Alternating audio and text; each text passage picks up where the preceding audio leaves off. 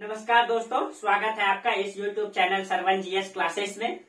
आ, मतलब आप लोगों को आप लोगों की जो क्लास है वो लंबे समय से नहीं हो पा रही थी क्योंकि आप लोगों को पहले भी चर्चा कर दिए थे कि अब आप लोगों की क्लास जो है दिल्ली के मुखर्जी नगर से होगी। तो बीच में जो अब मैं मुखर्जी नगर आ चुका हूँ दिल्ली में और आप लोगों की क्लास जो है आज से रेगुलर होगी और मुखर्जी नगर से ही होगी। पहले मेरी क्लास भागलपुर में संचालित होती थी लेकिन अब जो है आप लोगों की क्लास मुखर्जी नगर से होगी। और यहाँ से अब कोशिश करेंगे कि आप लोगों की क्लास रेगुलर होती रहे और यहाँ पे क्लास को स्टेबल करने में जो है वक्त लग गया। इसीलिए आप लोगों की क्लास जो है रेगुलर रूप से नहीं हो पा रही थी, लेकिन अब कोशिश करेंगे कि आप लोगों की क्लास रेगुलर रूप से मतलब संचालित हो। अब एक नए संस्थान से, नए अनुभव के साथ आप लोगों की क्लासेस जो है कंटिन्यूस चलती रहेगी और मैं अब कोशिश करूँगा कि हिस्ट्री ऑप्शनल के लिए भी विशेष क्लास आप लोगों के लिए लाने का प्रयास करेंगे, ठीक है? और आप लोगों को अब पीसीएस में कोई तरीके से सोचने की ज़रूरत नहीं है, और आईएएस के लिए भी पीटी के लिए आप लोगों को अब सोचने की ज़रूरत नहीं होगा। इसलिए आप लोग क्लास को कंटिन्यू कीजिए रेगुलर तरीके से कीजिए, इसका नोट्स बनाइए, ताकि कहीं भी दिक्कत न हो। और ऑथेंटिक बुक आप लोगों को चर्चा कर चुके हैं। तो चलिए दोस्तों, अब एक नए अनुभव के साथ, नए संस्थान से आज से हम लोग अपनी क्लास को प्रारंभ करेंगे। और मिडेवल हिस्ट्री हम लोग पढ़ रहे थे। मिडेवल हिस्ट्री में हम लोग तुगलक वंश की चर्चा कर रहे थे। तुगलक वंश में फिरोज शाह तुगलक को हम लोग पढ़ रहे थे। तो आज से हम लोग फिरोज शाह तुगलक को कंटिन्यूस करेंगे और मिडेवल हिस्ट्री जो हम लोगों की चल रही थी, अब कोशिश करेंगे कि आप लोगों की क्लास जो है रेगुलर होती रहे। ठीक है? अब आप लोगों की क्लास जो है मुखर्जी नगर से हो रही है। ठीक है? तो अब आप लोगों को ज़रूरत है कि आप लोग भी मेरा सपोर्ट कीजिए और हम भी आप लोगों को सपोर्ट करें। और आप लोगों का क्लास पूर्ण रूप से फ्री हमेशा के लिए चलता रहेगा पीसीएस के लिए, ठीक है? अब जो है आप लोगों को दिल्ली आने की ज़रूरत नहीं है। आप जहाँ भी है, घर बैठे दिल्ली की तैयारी फ्री में कर सकते हैं। जहाँ भी हैं, ठीक है? तो अब आप लोगों की क्लास जो है पूर्ण रूप से कंटिन्यूस चलती रहेगी, मुखर्जी नगर से चलती रहेगी, और यहाँ के अनुभव के साथ आप लोग घर में जहाँ भी है, चाहे जिस गाँव में भी रहते हैं, जहाँ शिक्षा की सुविधा उपलब्ध नहीं है, वहाँ से आप लोग जो है दिल्ली के अनुभव के साथ मुखर्जी नगर से आप लोगों की क्लास जो है फ्री में कंटिन्यूस चलती रहेगी पीसीएस के लिए, यहाँ तक कि आईएएस के लिए भी आपको अब सोचने की ज़रूरत नहीं होगा, ठीक है? चलिए तो हम भी अपने नए नए नए चीज़ों को सीख करके अपने अनुभव को भी आप लोगों के बीच शेयर करेंगे, ठीक है? एग्ज़ाम के लिए और आप लोगों को अब सोचने की ज़रूरत नहीं होगा। आप लोग पीसीएस में कंटिन्यूस बने रहिए, ठीक है? और मेरी क्लास को रेगुलर करते रहिए, इसका नोट्स बनाते रहिए। बीच में आप लोगों की क्लास नहीं हो पा रही थी, बस यही कारण था कि यहाँ पे क्लास स्टेबल करने में वक्त लग गया, ठीक है? चलिए दोस्तों तो हम लोग चर्चा कर रहे थे तुगलक वंश में। तुगलक वंश में फिरोज शाह तुगलक को हम लोग पढ़े थे। फिरोज शाह तुगलक के कायद के बारे में देखे थे। फिरोज शाह तुगलक ने कई सारे केंद्र विभाग की स्थापना किया था, उनके बारे में देखे थे। और फिरोज शाह तुगलक पहले इतिहास का पहला शासक था, दोस्तों, जिसने बेरोजगारों के लिए, बेरोजगार युवाओं के लिए भी सोचा था। उसने उसके लिए भी विभाग की स्थापना किया था, वृद्धों के लिए भी किया था, कई सारे नहर का भी निर्माण किया था। लेकिन इसने कई सारे कायद किया तो दोस्तों, इसको वास्तविक रूप से मतलब सॉरी इसको जो है तुगलक, सल्तनत काल का अकबर भी कहा जाता है। लेकिन इसने वास्तविकता तो यह है दोस्तों, इसने धर्म के आधार पे सत्ता का संचालन किया, धार्मिक आधार पे कायद किया। नहीं तो दोस्तों, अगर इतिहास, अगर ये कहीं के अगर ये पंथ धर्म निरपेक्ष होकर के अगर कायद किया होता, सहिष्णुता की नीति के तरीके से कायद किया होता तो शायद इतिहास इसको कुछ अलग नज़रों से देखता, इतिहास इसको वास्तविक रूप से अकबर की उपाधि देता। ठीक है, इसको सल्तनत काल का अकबर ज़रूर कहा जाता है दोस्तों, क्योंकि इसने कई सारे कायद ऐसे किए थे, लेकिन ये धार्मिक आधार पे किए थे। तो हम लोग पिछले क्लास में फिरोज शाह तुगलक को देख चुके थे। आज हम लोग चर्चा करेंगे तुगलक वंश में कई सारे शासक आए फिरोज शाह तुगलक के बाद। तुगलक वंश की जो सत्ता है, यह 1320 से 1414 तक संचालित हुई थी। ठीक है? 1320 से 1320 से 1414 तक चली थी। इसमें से जो गयासुद्दीन तुगलक जो है, इसका संस्थापक था। गयासुद्दीन तुगलक के बाद जो है, आया था आपका मोहम्मद बिन तुगलक एमबीटी दिल्ली सल्तनत का सबसे पढ़ा लिखा सुल्तान दोस्तों। लेकिन अपने जीवन में जितना भी कायद किया, वो सबके सब असफल रहा। हम लोग चर्चा कर चुके थे। उसके बाद आया फिरोज शाह तुगलक, न? फिरोज शाह तुगलक आया और तो देखिए तुगलक वंश में सबसे पहले गयासुद्दीन तुगलक, उसके बाद फिरोज शाह तुगलक, उसके बाद सॉरी मोहम्मद बिन तुगलक, उसके बाद फिरोज शाह तुगलक। फिरोज शाह तुगलक के बाद जो है, गयासुद्दीन तुगलक शाह द्वितीय आया था। ठीक है? गयासुद्दीन गयासुद्दीन तुगलक शाह द्वितीय। तुगलक शाह द्वितीय आया था। ठीक है? और इसकी कोई उपलब्धि नहीं है दोस्तों। ये बिल्कुल अयोग्य शासक था। कई सारे तुगलक वंश में इसके बाद जो शासक आए वो अयोग्य शासक थे। और आपको पता है कि एमबीटी की गलती के कारण से जो है दक्षिण भारत में विजयनगर और बहमनी साम्राज्य की स्थापना हो चुकी थी। इसका साम्राज्य जो है सिमट करके रह गया था। ठीक है? और फिरोज शाह तुगलक के बाद जो कई सारे शासक है, वो बिल्कुल अयोग्य रहे। और उसकी अयोग्यता का मतलब की फ़ायदा भी जो है तेमूर लंग ने उठाया, जो तेमूर का आक्रमण हुआ तो। ठीक है? तो गयासुद्दीन तुगलक सा तेरह से नवासी तक रहा था। ये जो है तेरह से नवासी तक रहा। इनकी कोई उपलब्धि नहीं है। ठीक है? और फिरोज शाह तुगलक के बाद गयासुद्दीन तुगलक सातवीं गयासुद्दीन तुगलक सातवीं के बाद अबू बकर शाह आया था।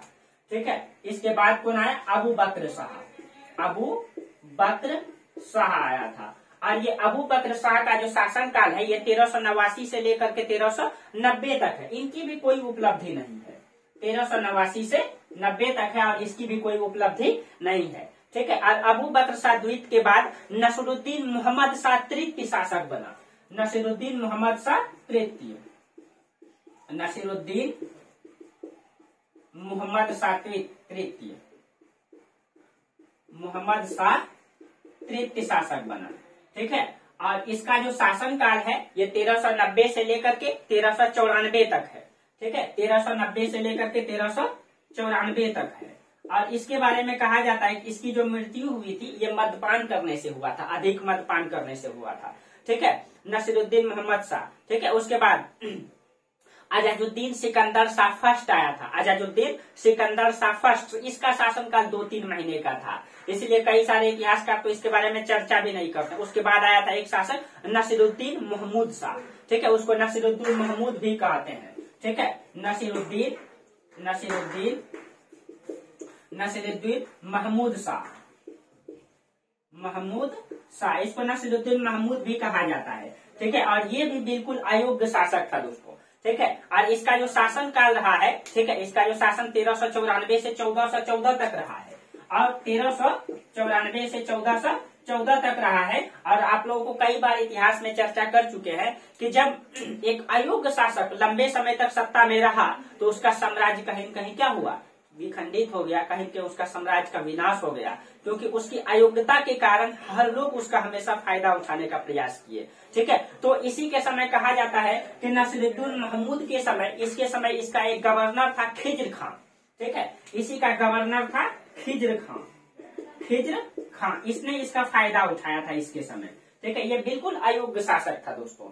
और इसी का फ़ायदा उठाया खिज्र खान। कहा जाता है कि नसरुद्दीन महमूद के समय में ही तेरह सौ अंठानवे में, तेरह सौ अंठानवे में तेमूर लंग का आक्रमण हुआ। ठीक है? तेमूर लंग का आक्रमण हुआ इसी के समय। और तेमूर के बारे में हम आगे भी चर्चा करेंगे और कई बार चर्चा भी कर चुके हैं। ठीक है? और तेमूर लंग, ये समरकंद का था। तेमूर लंग की जो राजधानी था, ये था समरकंद। ठीक है? समरकंद का रहने वाला था तेमूर ठीक है? और इसी का आक्रमण हो, होता है तेमूर लंग का। और तेमूर लंग का जब आक्रमण हुआ तो ये तेमूर लंग ने खिजर खां की सहायता लिया। खिजर खां जो है नसरुद्दीन महमूद के खिलाफ गया और तेमूर लंग को सपोर्ट कर दिया। और इसकी सपोर्ट के कारण कहा जाता है कि तेमूर लंग ने लगभग दिल्ली को सिर्फ़ छोड़ा था दोस्तों। उसके बाद जो है सारे के सारे क्षेत्र को जीत लिया। सिर्फ़ दिल्ली को मतलब छोड़ दिया, दिल्ली को मतलब नहीं जीता, बाकी पूरे क्षेत्र को दिल्ली में जितना भी वंश का जो सत्ता जो बचा था, उन सारे को जीत करके, ठीक है, वापस चला गया और वो क्षेत्र खिलजी खां को दे दिया, ठीक है। वो यहाँ सत्ता को वास्तविक रूप से संचालित नहीं किया दोस्तों, उसने क्या किया खिज्र खां को सत्ता दे करके तैमूर जो है, वापस चल गया।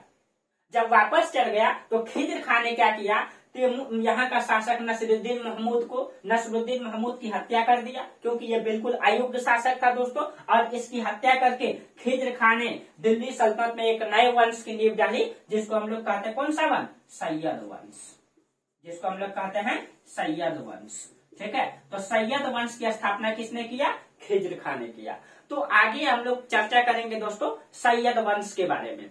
लेकिन सैयद वंश को पढ़ने से पहले हम लोग दो वंश को पढ़ेंगे। हम चर्चा किए थे, याद कीजिए दोस्तों, हम चर्चा किए थे कि जब तुगलक वंश में मोहम्मद बिन तुगलक शासन में था तो उसके समय दक्षिण में दो वंश की स्थापना हुई, ठीक है? दो वंश की स्थापना हुई, विजयनगर साम्राज्य और बहमनी साम्राज्य, जो लगभग लगभग 300 वर्षों तक शासन किया।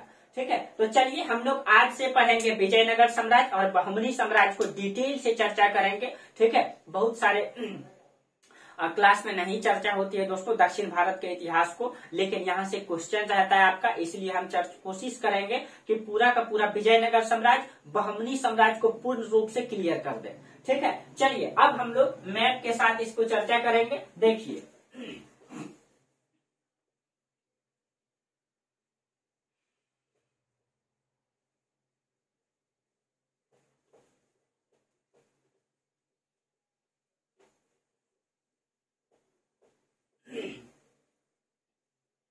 देखिए तो विजयनगर साम्राज्य और बहमनी साम्राज्य की स्थापना को हम लोग देखते हैं, किस प्रकार से विजयनगर और बहमनी साम्राज्य की स्थापना हुआ, पहले उसको हम लोग देख लेते हैं, ठीक है? तो चलिए, विजयनगर साम्राज्य। विजयनगर एवं बहमनी साम्राज्य की स्थापना। बहमनी साम्राज्य की स्थापना। साम्राज्य की स्थापना।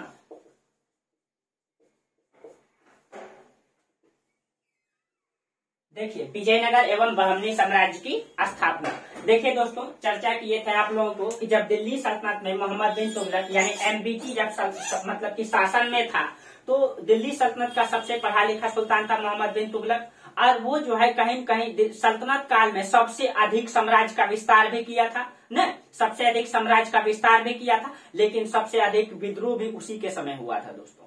ठीक है? उसने जो गलतियाँ की, उसके कारण से उसके समय जो है विद्रोह भी सबसे अधिक तो सबसे अधिक साम्राज्य का विस्तार भी उसी के समय हुआ और सबसे अधिक विद्रोह भी एमबीटी के समय ही हुआ।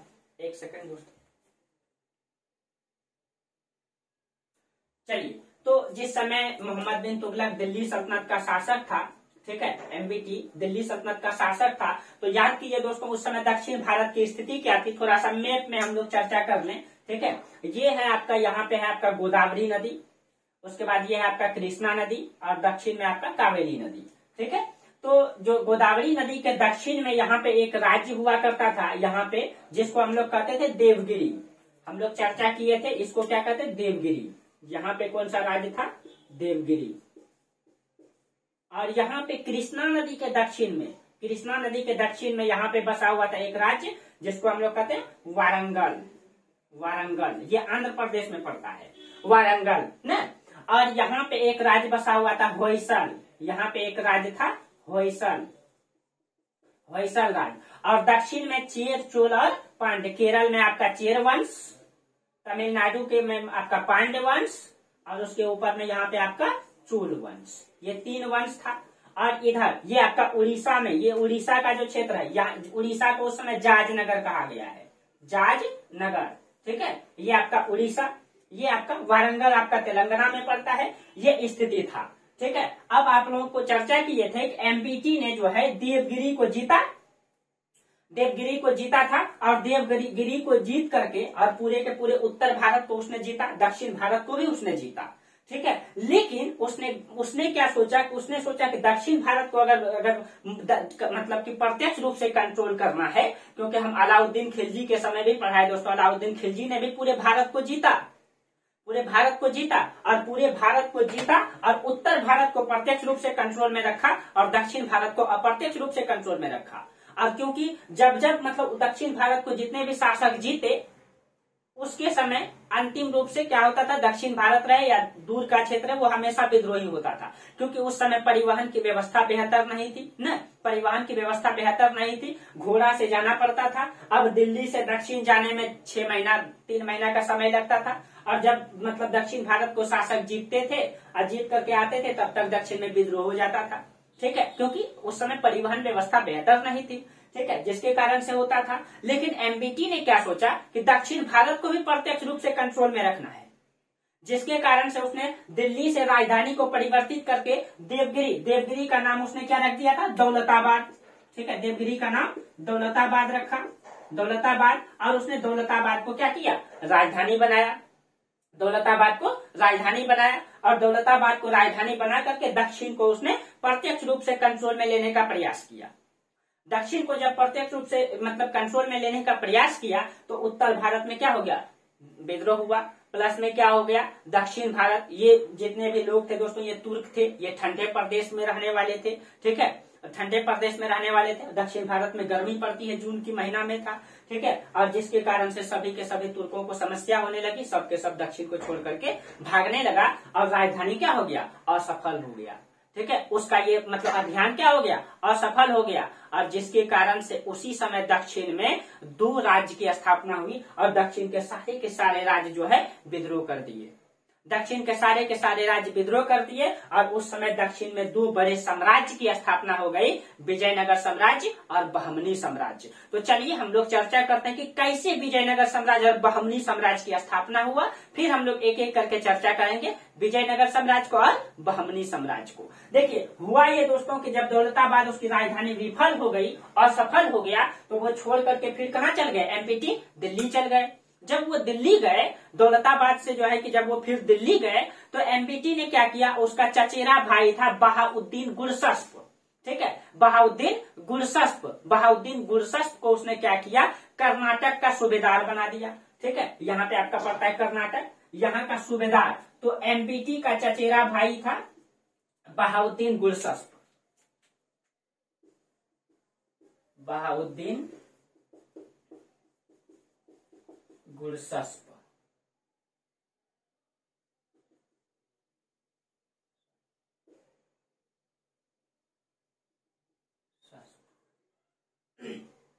उसका चचेरा भाई था बहादुर गुरसस्प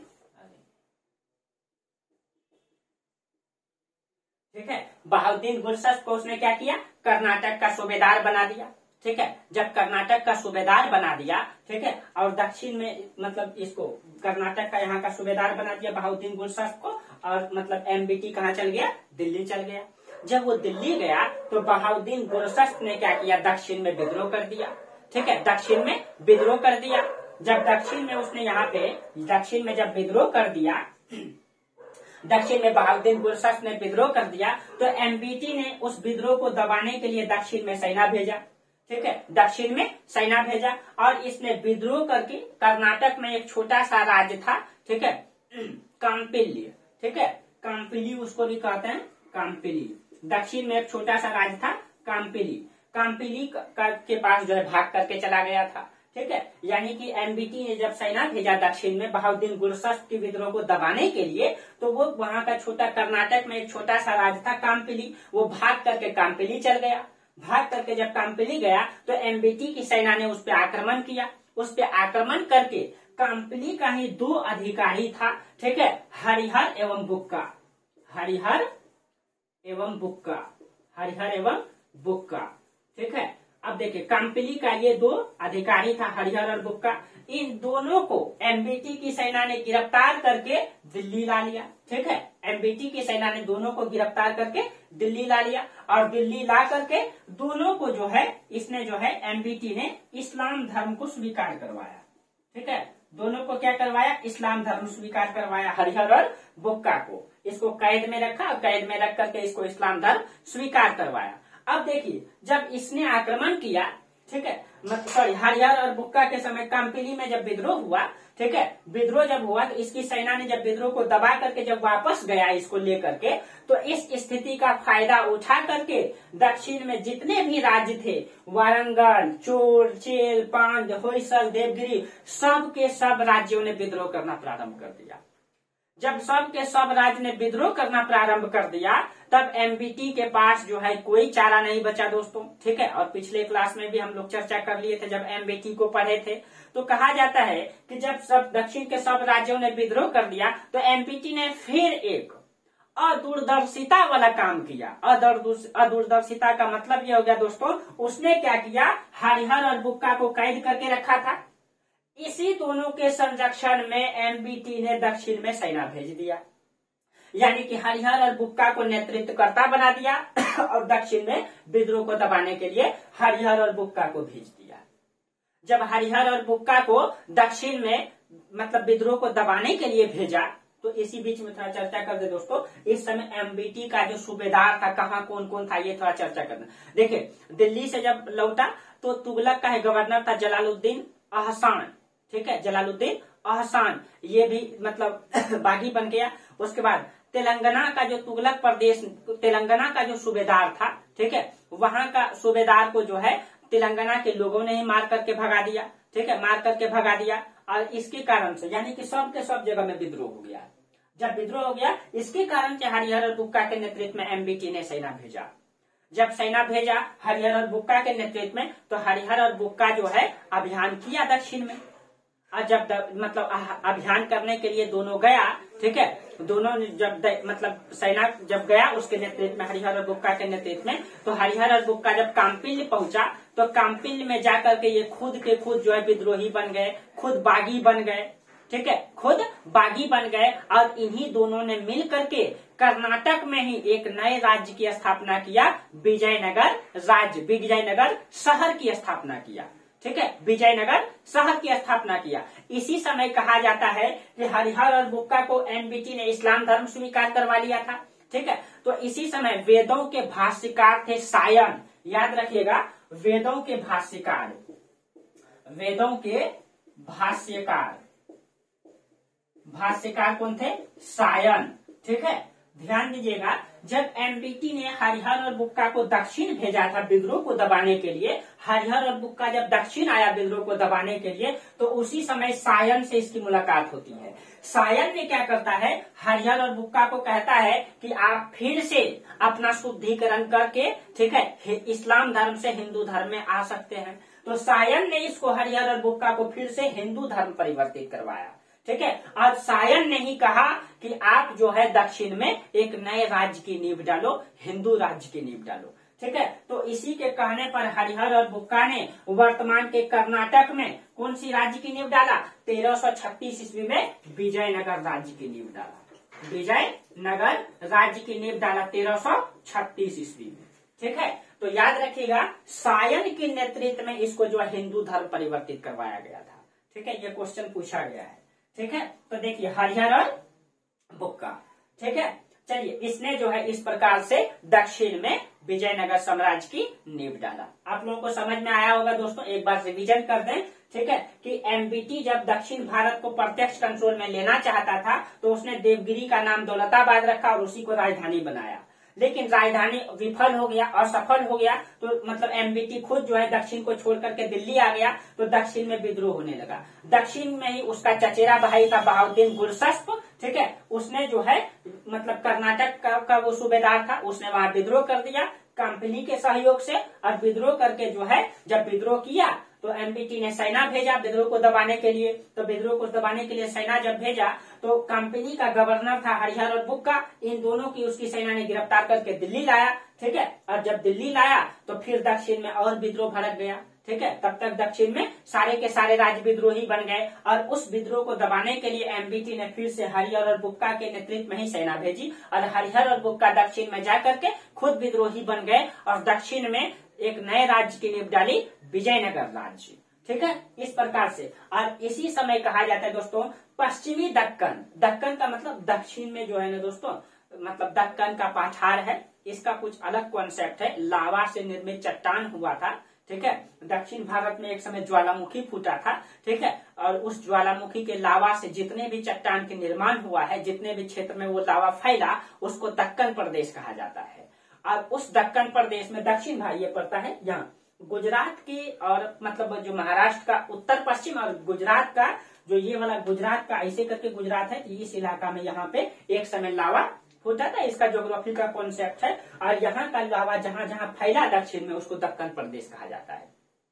तो दक्कन प्रदेश में ही यहाँ पे तो आप लोगों को चर्चा कर दे विजयनगर साम्राज्य के नींव यहाँ पे डाला गया। और ये कौन सा नदी है? ये आपका ये आपका कौन सा नदी है? ये आपका कृष्णा नदी है। कृष्णा नदी के दक्षिण में कौन सा राज्य हो गया? विजयनगर राज्य। कृष्णा नदी के उत्तर में, पश्चिमी दक्कन में।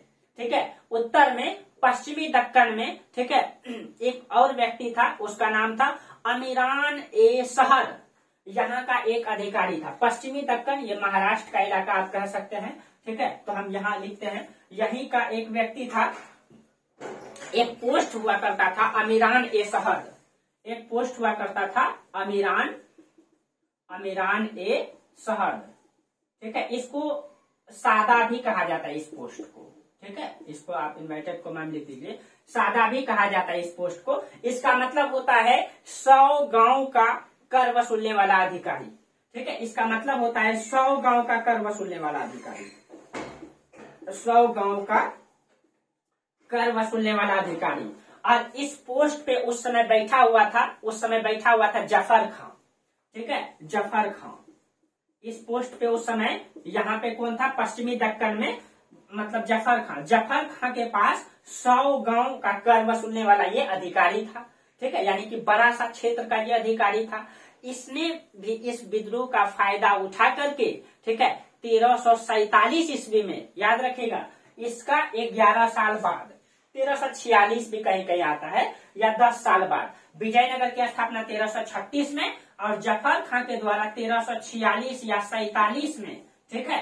ज़फ़र खान ने उस सौ गाँव को स्वतंत्र करके एक नए राज्य की नींव डाला। इसने अपना नाम रखा अलाउद्दीन हसन बहमन शाह। इसने अपना ज़फ़र खान ने अपना नाम क्या रखा?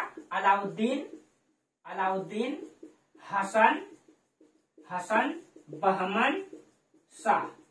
बहमन शाह इस नाम से, ठीक है, इस सौ गाँव को इसने स्वतंत्र कर करके एक नए राज्य की नींव डाली। तेरह सौ छियालीस से सैतालीस ईस्वी के आसपास कौन सा राज्य? बहमनी साम्राज्य। बहमनी राज्य। और यही राज्य, अब देखिए तो ये जो आपका कृष्णा नदी है, कृष्णा नदी के उत्तर में बहमनी राज्य, कृष्णा नदी के दक्षिण में कौन सा राज्य हो गया? कृष्णा नदी के दक्षिण में आपका विजयनगर साम्राज्य की नींव डाली गई, ठीक है? और ये जो आपका गोदावरी नदी के दक्षिण, यानी कि दक्षिण भारत का पूरे इलाका में दो ही राज्य अब बचेगा। बहमनी साम्राज्य और विजयनगर साम्राज्य। ये राज्य अब साम्राज्य में तब्दील हो जाएगा, ठीक है? तो चलिए तो विजयनगर साम्राज्य और बहमनी साम्राज्य। तो पहले हम लोग पढ़ेंगे किसको?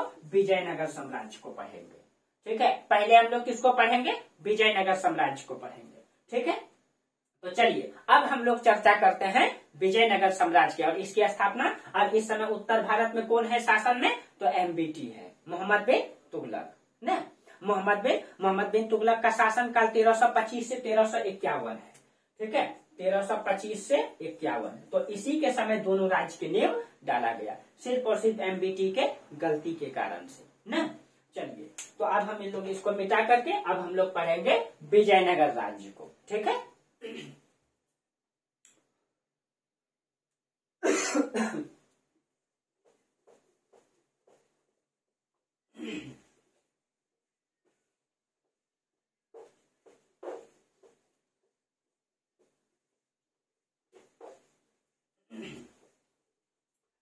लोग इसका नोट्स ज़रूर बनाइएगा दोस्तों। आप लोग को पीडीएफ मिल जाएगा टेलीग्राम ग्रुप में। जो जो मेरा टेलीग्राम ग्रुप में नहीं जुड़े हैं, आप लोग टेलीग्राम ग्रुप में जुड़ जाएँ। सरवन जीएस क्लासेस के नाम से टेलीग्राम ग्रुप बना हुआ है। उसमें आप लोगों को डेली पीडीएफ मिलता रहेगा। जो टॉपिक पढ़ाई होगी, उस टॉपिक का पीडीएफ आप लोगों को मिलता रहेगा।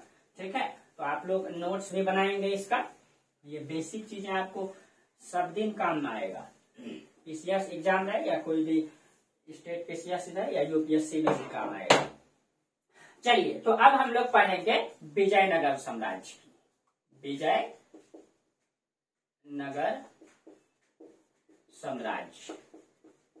विजयनगर साम्राज्य इस, इसकी स्थापना कब किया गया? तेरह सौ छियालीस सैतालीस में। ठीक है? तेरह सौ छियालीस सैतालीस में इसकी स्थापना हुई और ये चला, सॉरी, छत्तीस में। तेरह सौ छत्तीस। तेरह सौ छत्तीस में और ये चलेगा पंद्रह सौ पैंसठ ईस्वी तक, लगभग दो सौ साल। पंद्रह सौ पैंसठ ईस्वी तक, लगभग तीन सौ साल तक ये चला था दोस्तों। आगे भी छोटे छोटे राज्य इसमें आते रहे। ठीक है? तो विजयनगर साम्राज्य। विजयनगर शहर की नींव डाला गया, उसी में मतलब विजयनगर शहर कहाँ था? कर्नाटक में।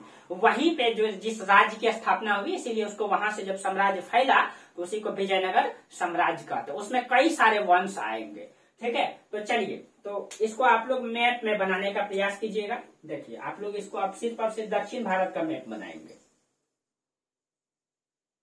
देखिए तो अब यहाँ पे आप लोग ध्यान रखिएगा, ये आपका गोदावरी नदी, ठीक है? ये आपका कृष्णा नदी और दक्षिण में आपका कावेरी नदी। कृष्णा नदी जो है, इसी की एक सहायिका है तुंगभद्रा नदी, जो दो नदी से बनता है तुंग और भद्रा। यहाँ पे, और इन दोनों का जो बीच का क्षेत्र है, दो नदियों, ये आपका हो गया कृष्णा नदी। कृष्णा, और ये वाला हो गया तुंग भद्रा तुंग भद्रा नदी। ठीक है? ये ये इन दोनों के जो बीच का क्षेत्र है दोआब है, दो नदियों के बीच का क्षेत्र को दोआब कहते हैं, इसी को कहा जाता है रायचूर का दोआब रायचूर का दोआब रायचूर का दोआब कहा जाता है इसको। ठीक है? जो दो नदियों के बीच है। तो ये रायचूर के दोआब के दक्षिण में यहाँ पे आपका कर्नाटक में यहाँ पे आ गया आपका विजयनगर साम्राज्य। विजयनगर। और इसके उत्तर में यहाँ पे आपका कौन सा राज्य हो गया? बहमनी राज्य। बहमनी राज्य। ठीक है?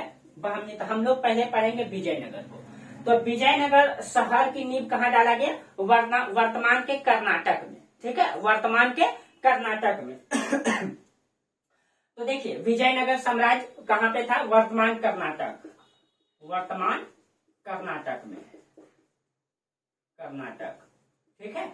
यहाँ पे विजयनगर शहर की नींव डाली गई थी। और इसी शहर को केंद्र बना करके, ठीक है, किसने? हरिहर और बुक्का ने एक नए राज्य की नींव डाली जिसको हम लोग विजयनगर। तो इसके संस्थापक, विजयनगर साम्राज्य के संस्थापक कौन हुए? संस्थापक दो भाई थे। दो भाई, संस्थापक हुए हरिहर एवं बुक्का। हरिहर एवं बुक्का। ये दो भाई थे, ठीक है? दो भाई थे। और इसने राजधानी कहाँ बनाई थी? राजधानी। राजधानी कहाँ बनाई? विजयनगर को। इसकी तीन राजधानी रही विजयनगर। तीन राजधानी रही। समय समय पर इसका राजधानी चेंज होता रहा, ठीक है? चेंज होता रहा। इसने सबसे पहले विजयनगर को राजधानी बनाई। ये विजयनगर कर्नाटक में पड़ता है। उसके बाद दूसरी राजधानी उसने अनेगु, अनेगुंडी बनाई। ठीक है? दूसरी राजधानी अनेगु मंडी अनेगु। और एक राजधानी इसने बनाई थी, तीसरी राजधानी इसकी थी चंद्रगिरी। चंद्रगिरी। इसने ये तीन राजधानी बनाई थी। ठीक है? तीन राजधानी। अब देखिए विजयनगर की राज्य के जो सबसे पहले जो शासक बने, वो हरिहर बने थे। ठीक है? सबसे पहला शासक इसका विजयनगर का कौन रहा? शासक रहा इसका हरिहर हरिहर। और मतलब बुक्का बाद में शासक बनेंगे। जब हरिहर शासक बना तो इसके सहायक के रूप में बुक्का काम कर रहे थे। ठीक है? हरिहर जब शासक बना तो बुक्का जो है, उसके सहायक के रूप में काम कर रहे थे। ठीक है? तो देखिए तो विजयनगर तो उसकी राजधानी हो गया, ठीक है? विजयनगर साम्राज्य में जो सबसे तो कहा जाता है कि हरिहर ने हरिहर ने जो विजयनगर में पहले वंश की नींव डाली, उसको कहते हैं संगम वंश। संगम वंश। हरिहर और बुक्का का पिता का नाम था संगम। और इसी ने अपने पिता के नाम पर एक नए वंश की नींव डाली, जिसको विजयनगर साम्राज्य में संगम वंश की। देखिए तो विजयनगर साम्राज्य में चार वंशों ने शासन किया। तो चारों वंशों को लिख लीजिए, ठीक है? विजयनगर साम्राज्य में चार वंश आया। सबसे पहले इसमें आया संगम वंश। संगम वंश। उसके बाद आया संगम वंश के बाद आया सालू वंश। सालू वंश। सालू वंश के बाद तीसरा आया तुलु वंश। तुलु वंश। और चौथा में चौथा में था अर, अर, अरविदु वंश। ठीक है? अरविदु वंश। अरविदु वंश। ये चार वंशों ने विजयनगर साम्राज्य में शासन किया। सबसे पहले कौन सा वंश आया? संगम वंश। संस्थापक हरिहर एवं बुक्का। हरिहर एवं बुक्का। ठीक है? चलिए तो हम लोग अब पढ़ेंगे विजयनगर साम्राज्य में पहला वंश संगम वंश के बारे में। ठीक है? तो किसी भी वंश को पढ़ने से पहले हम लोग उसकी जानकारी को पढ़ते हैं, उसकी जानकारी का स्रोत को पढ़ते हैं, ठीक है?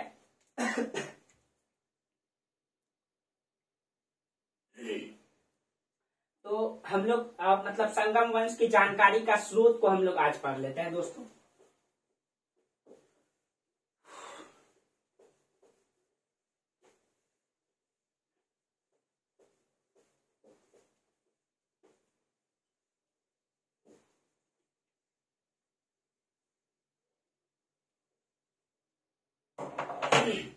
देखिए, विजयनगर साम्राज्य में सबसे पहला वंश आया संगम वंश संगम वंश।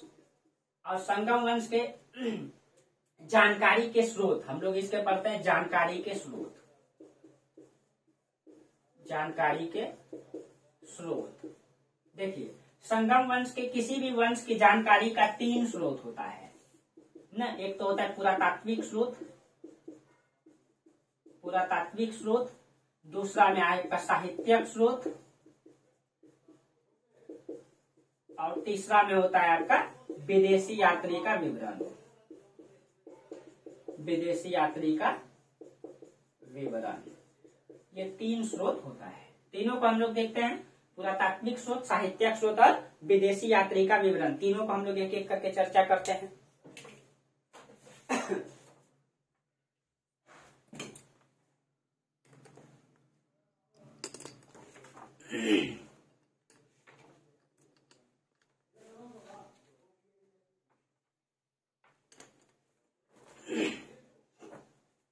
चलिए तो हम लोग पुरातात्विक स्रोत और साहित्यक स्रोत की हम लोग चर्चा करते हैं, ठीक है? देखिए, साहित्यक स्रोत में एक पुस्तक है, ठीक है? ए फॉरगेदर एम्पायर ठीक है? ए फॉरगेदर साहित्यक स्रोत में एक पुस्तक है ए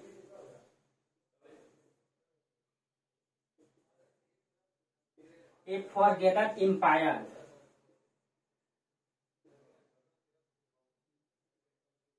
ठीक है? A forgotten E M I P I I empire ठीक है? ये इसका लेखक है सेवेन इसका लेखक कौन है? सेवेन इसमें जो है विजयनगर साम्राज्य की मतलब उल्लेख आता है। ठीक है? ए फॉर गेदर एम्पायर के लेखक है सेवेन इसमें जो है, इस इस साहित्य में विजयनगर का उल्लेख आता है। ठीक है? एक एक पुस्तक है, आमुक्त माल्यद ये इंपॉर्टेंट पुस्तक है। आमुक्त आमुक्त माल्यद ये जो आमुक्त माल्यद है, इसको लिखा है कृष्णदेव राय ने। ठीक है? जो विजयनगर के शासक रहे, कृष्णदेव राय। तो इसका लेखक कौन है? इसको लिखने वाले हैं कृष्णदेव राय। कृष्ण देव राय। और इसकी भाषा तेलुगु है। इसकी भाषा तेलुगु है। और इसमें से विशद रूप से इस पुस्तक में अमुक्त माल्यद में विशद रूप से विजयनगर साम्राज्य की प्रशासन की चर्चा की गई है। विजयनगर साम्राज्य की प्रशासन की चर्चा विशद रूप से अमुक्त माल्यद में मिलती है। ठीक है? अगर हम पुरातात्विक स्रोत की चर्चा करें, पुरातात्विक स्रोत में पुरातात्विक स्रोत में बुक्का के समय का, तेरह सौ चौवन ईस्वी का एक अभिलेख प्राप्त हुआ है, ठीक है? उस अभिलेख में इसकी चर्चा है। तो बुक्का के समय का एक अभिलेख मिला है। बुक्का के समय का एक अभिलेख मिला है तेरह सौ चौवन ईस्वी का, ठीक है? ईस्वी का एक अभिलेख प्राप्त हुआ है। इसमें जो है, मालगोरा नामक महिला द्वारा सती होने का उल्लेख है। ठीक है? इसके समय में तेरह में जो एक अभिलेख मिला है, इस अभिलेख में मालगोरा माल गोरा मालगोरा नामक महिला है और ये जो है सती हो गई है, इसका उल्लेख आता है इसमें। ठीक है? एक एक अभिलेख प्राप्त हुआ है देव राय द्वित के समय का चौदह सौ चौबीस और चौदह सौ पच्चीस ईस्वी का एक अभिलेख पाया गया है, जिसमें दहेज प्रथा को अवैधानिक बताया गया है, यानी कि कानून के खिलाफ बताया गया है। तो दूसरा अभिलेख प्राप्त हुआ है देव राय देव राय द्वित के समय का, जो तेरह, चौदह सौ चौबीस पच्चीस का है, चौदह सौ चौबीस पच्चीस का है। और इसमें इसका जो अभिलेख पाया गया है, इसके अभिलेख में दहेज प्रथा को, दहेज प्रथा को कानून के खिलाफ बताया गया है, अवैधानिक बताया गया है। ये दो अभिलेख का उल्लेख आता है। ठीक है? और अगर हम विदेशी यात्री की चर्चा करें ठीक है? विदेशी यात्री की अगर हम चर्चा करें तो कई सारे विदेशी यात्री थे जो विजयनगर साम्राज्य और बहमनी साम्राज्य में आए थे। ठीक है? तो चलिए, विदेशी यात्री का विवरण को अगर हम लोग चर्चा करें तो देखिए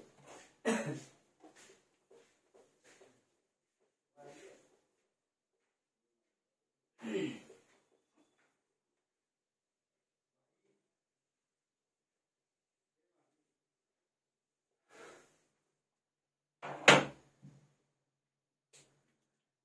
विदेशी यात्री का विवरण। विदेशी विवरण। विदेशी विवरण में एक इंपॉर्टेंट व्यक्ति है अब्दुल रज्जाक।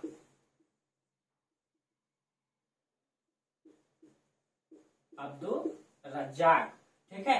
ये अब्दुल रज्जाक, ये विदेशी है। चौदह सौ तैतालीस ईस्वी में देवराय द्वित के समय जो है विजयनगर में आया था। ये कब आया था? चौदह सौ तैतालीस ईस्वी में। इस समय विजयनगर का शासक कौन था? देवराय द्वितीय। देवराय द्वितीय। ठीक है? अब्दुल रज्जाक चौदह सौ तैतालीस में आया था इस समय। ये, यहाँ का शासक था देवराय द्वितीय। और ये फारस का रहने वाला था। ये अब्दुल रज्जाक कहाँ का था?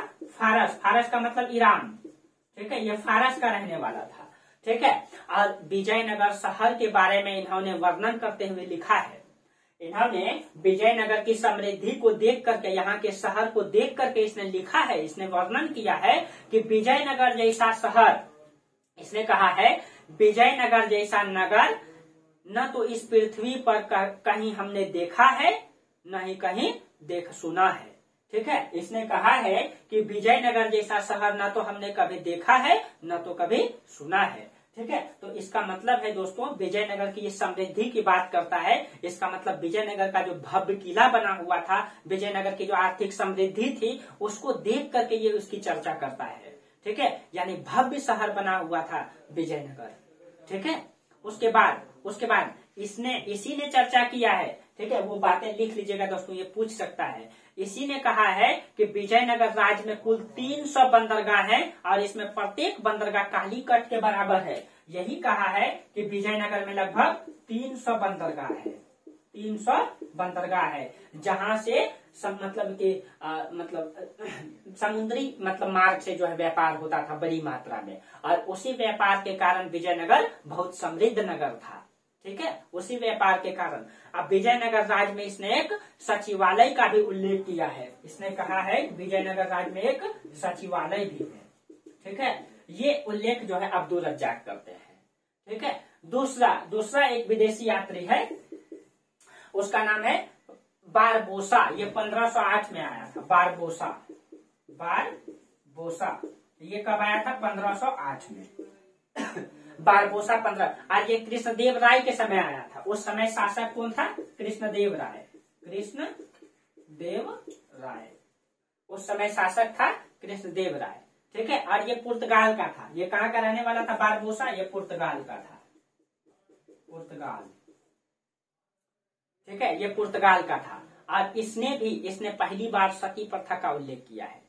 लेकिन इसने कहा है, इसने सती प्रथा का उल्लेख किया है। लिख लीजिएगा, इसने सती प्रथा का उल्लेख किया है और इसी ने कहा है, इसने कहा है कि यहाँ सती प्रथा प्रचलन में तो है, लेकिन इसके अनुसार ये जो प्रथा है, उच्च वर्गों उच्च वर्गों में इसने कहा है, जैसे लिंगायतों चेटियों ब्राह्मणों में ये प्रचलित नहीं था, यानी उच्च संप्रदाय में प्रचलित नहीं था, निम्न कोटि में प्रचलित था मतलब सती प्रथा।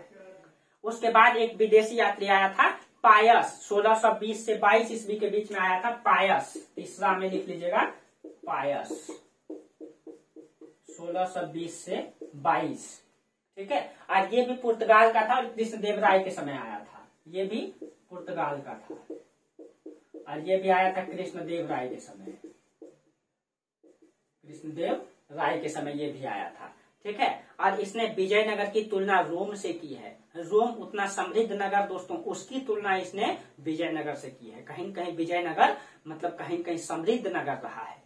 ठीक है? उसके बाद इसने, इसके अनुसार विजयनगर दूसरा प्रांत थे। यानी विजयनगर में इसने चर्चा किया है कि दूसरा प्रांत थे। दो सौ प्रांत थे। ठीक है? और इसने जो है, इसने नवरात्रि पर्व मनाए जाने का भी उल्लेख किया है। ठीक है, जो दुर्गा पूजा में नौ दिन जो नवरात्रि होता है, इसने नवरात्रि का भी उल्लेख किया है। ठीक है? और इसने ये भी कहा है कि नवरात्रि के जो अंतिम दिन है, उसमें बहुत सारे पशुओं का वध किया गया। ठीक है? वध का भी उल्लेख करता है। हम लोग जानते हैं दोस्तों, हमारे धर्म में ये प्रचलित है। ठीक है? कि जब नवरात्रि का अंतिम दिन होता है नौवे दिन, उसमें जो है दुर्गा माँ को बलि चढ़ाई जाती है, ना?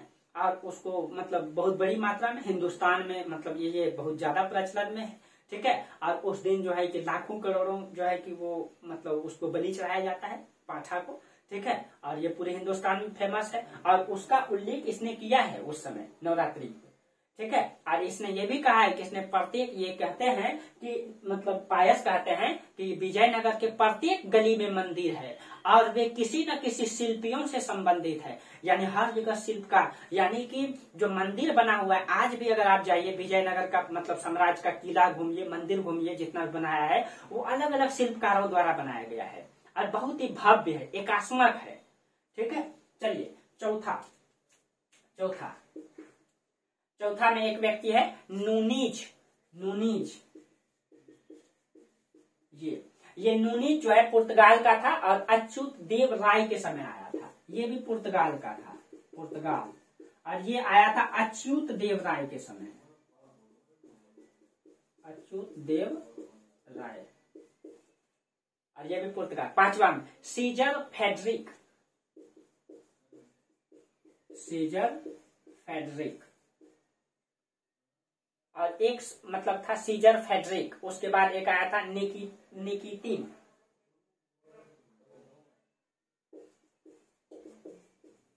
निकीटिन ठीक है?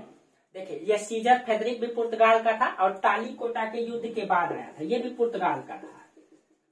और तालीकोटा के युद्ध के बाद। और निकित जीन, ये रूस का था। ये जो है, रूस का था और बहमनी साम्राज्य में ये आया था। और उस समय जो है, विजयनगर साम्राज्य का शासक था विरूपाक्ष द्वितीय। और ये विजयनगर की आर्थिक असमानता की चर्चा करता है। ठीक है? तो देखिए, ये सारे विदेशी यात्री हैं जिसने विजयनगर की समृद्धि और बहमनी साम्राज्य का भी उल्लेख किया है। ठीक है? तो आज दोस्तों यहीं तक रहने दीजिए। विजयनगर साम्राज्य की जानकारी का स्रोत हम लोग देख लिए। अगली क्लास से विजयनगर साम्राज्य में जो पहला वंश आया, संगम वंश संगम वंश के जो संस्थापक रहे हरिहर और बुक्का और पहला शासक हरिहर, कल हम लोग वहाँ से स्टार्ट करेंगे।